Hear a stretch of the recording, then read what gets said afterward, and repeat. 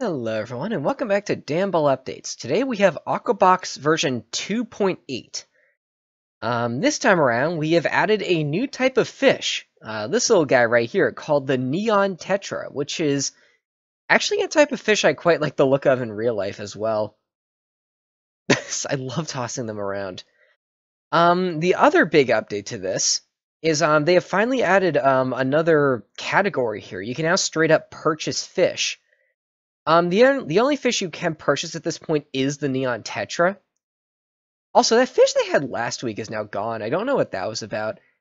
My best guess is that that was just a placeholder fish until they add in fish that are like actually, you know, real.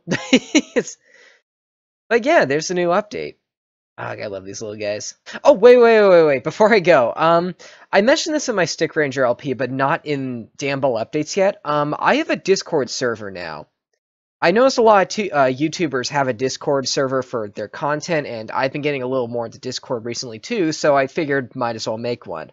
Um, I have channels for discussing the Dan-Ball updates, the Let's Plays I'm doing, as well as the um, the books and games I've created. So, um, yeah, um, I'll leave a link in the description if you want to come check it out. Um, and I will see you guys next week. Thanks for watching.